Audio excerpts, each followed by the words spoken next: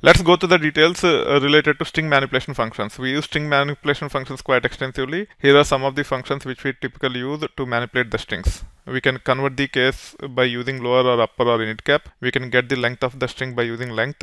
We can extract the data from existing strings using substring or split. Substring is used to extract the data from fixed length strings. Split is used to extract the data from variable length delimited strings. You can also uh, trim unwanted characters using uh, these functions trim, uh, rtrim and ltrim. You can pad a particular character to the strings either on the right side or the left side using rpad or lpad. You can also reverse the strings using reverse function. Also we can concatenate multiple strings either by using concat and concat underscore ws. Concat underscore ws is primarily used to concatenate strings with a specific character while concatenating all the strings. We will see examples in a moment. You will understand the difference between concat and concat underscore ws at that time. Let's get into case conversion and length. For case conversion, we use lower, upper, and init cap. For length, we use length function. This is the sample query with respect to case conversion. Lower convert everything to lowercase. All characters in hello world will become lowercase. Upper will convert all characters to uppercase. Whereas the init cap will actually convert the first character in each word to uppercase. Rest of the characters will be lowercase you can get the length of the string by using length function like this. You can see that hello world is uh, of length 11 characters. Here are few examples with respect to how we apply these functions on top of uh, actual table data. Here we have applied these functions on hard-coded strings. Now let's uh, see how these are typically applied on actual table data. I'm connecting to itversity retail database here.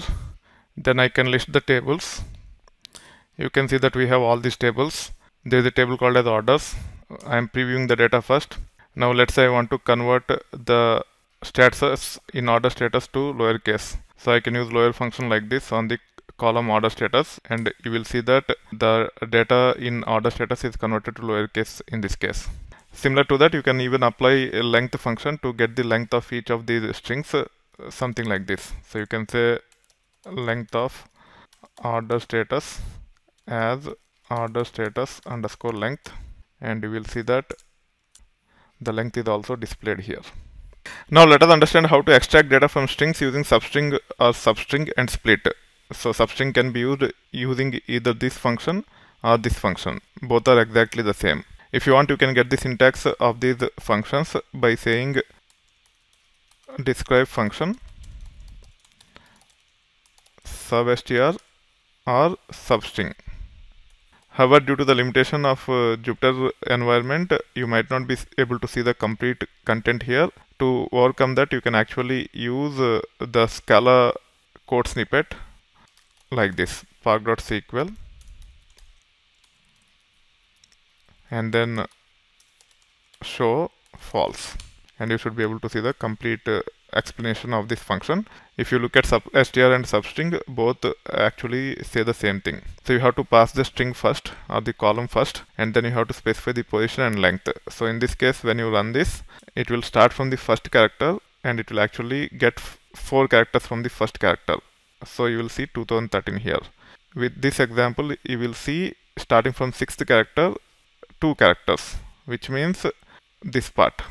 0 and 7. The index starts with 1 in case of substr or substring. So 1, 2, 3, 4, 5 and 6 is 0 and hence you will be seeing 0, 7 here.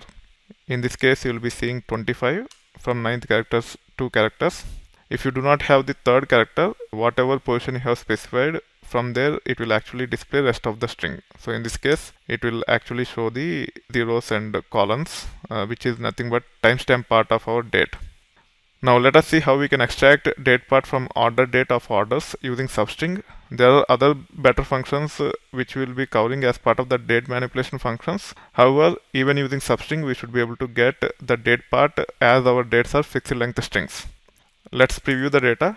You can see that all the dates are fixed length. The first 10 characters are nothing but the date part and hence we can use substr like this with uh, the column name comma 1 comma 10 which will extract the date part. If you want to get the time part, you just have to say 12 after odd date is passed as first argument and you should be able to see the time part which is nothing but all zeros in our case. Now we can use split to convert delimited string into array. So in this case uh, you can consider this as a delimited string with hyphen between year, month and date. If you run this uh, query with a split on top of it. You see it is returning an array or list with the three elements in it. In one record, there is only one record here. That record have three elements and the type of that record is list. Now if you want to get the first element, you have to use 0. If you say 1, you will get second element. If you say 2, you will get third element. And this is how you can pass uh, the index of each of these elements. So this will actually return 0, 7 we can use explode to convert an array in one record into multiple records so now if you run this it will actually return three records and you can see the results here. This is how we can convert a string which is delimited into an array and explode it into multiple records. Once the data is converted into multiple records, we can uh, perform typical uh, database operations on top of it based upon our problem statement. We will see an example at a later point in time with respect to word count where split and explode can be leveraged to get the word count. Now let's talk about trimming and padding functions. ltrim is used to remove the spaces on the left side of the string. rtrim is used to remove the spaces on the right side of the string. Trim is used to remove the spaces on both sides of the string. We can actually run these things to understand how they can be leveraged to remove the spaces on uh, left side or right side or both the sides. Let us understand how to use padding to pad characters to a string. Let us assume that there are three fields year, month and date which are of type integer you can see here the year is 2013 month is 7 and 25th is date. At times we might want to concatenate these things and want to generate the date.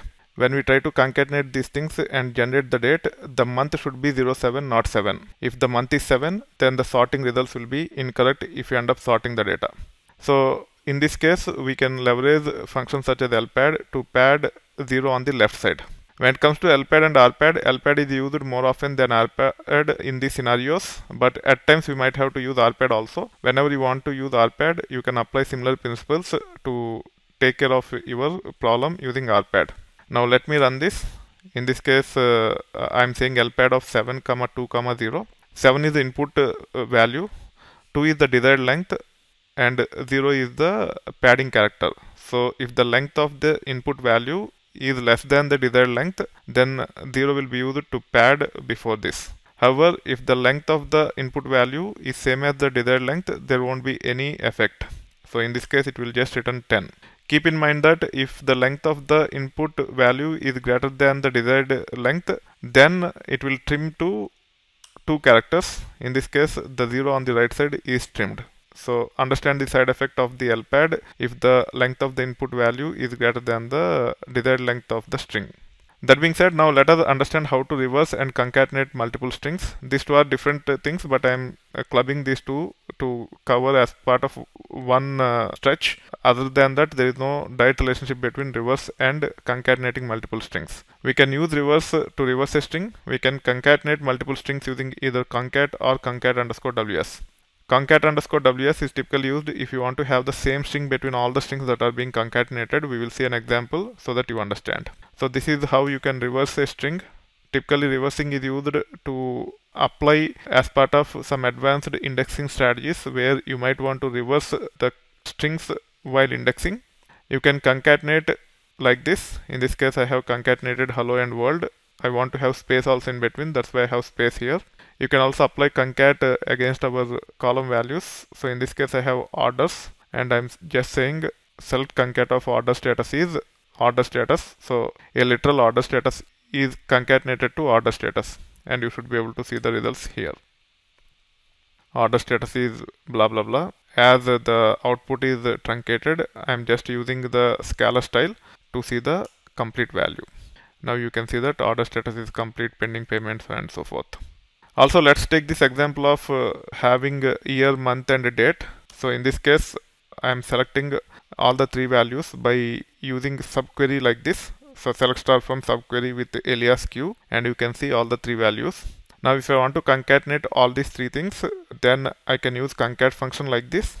So in between I am specifying hyphen to be concatenated and also I'm using lpad to pad the month as well as date if the length of the month or date is less than 2 characters it will pad with 0 and you can see the output here. It will return 2013-07-25 however instead of repeating hyphen multiple times you can use concat underscore ws pass the hyphen as first argument and pass rest of the expressions. It will give you the same output So wherever you have the requirement of concatenating multiple strings with a typical delimiter in between, then we can use concat underscore ws. That is the difference between concat and concat underscore ws. Now you can see the results as expected. So this is how you can leverage all the functions that are available to manipulate the strings and start solving the business problems. However, if you have some other string manipulation requirement and if it is not covered as part of this you just have to go to the list of functions understand if any of the existing functions will solve your problem and start using it